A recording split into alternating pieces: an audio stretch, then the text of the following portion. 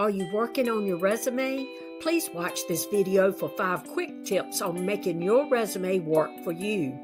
Resumes are a summary of your work experiences, skills, and other information used to help you secure a new career. Let's look at five tips that most resources agree on. Number one, start with your name and include contact information. Number two, include important career information, including work experience and education.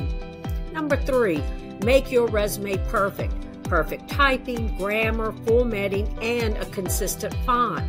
Ah, how can I make it perfect? Ask anyone who is good at proofreading for their help. Step number four, keep it at one page, with two pages being the absolute limit. Number five, use keywords from the job description.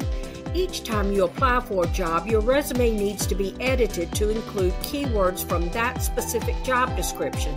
Most employers now use a software that screens the resumes and looks for those keywords in their job description in your resume.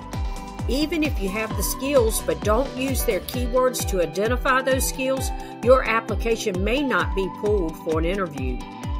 Won't help? Contact your local workforce center. There are career advisors there who can proofread your resume and share information about jobs in our area.